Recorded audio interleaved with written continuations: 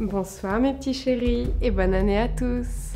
Comme vous le savez, janvier est le mois des bonnes résolutions. Eh bien c'est mal, très mal, et ça ne sert à rien du tout. Pourquoi s'interdire des choses que l'on aime juste pour se donner bonne conscience? Laissez-moi vous proposer 10 bonnes raisons de faire tout plein de mauvaises choses avec votre corps. Prêt pour une virée en enfer? C'est bien ce que je pensais. Je suis Alice Leroy et je vous présente le DVD Collector numéro 55.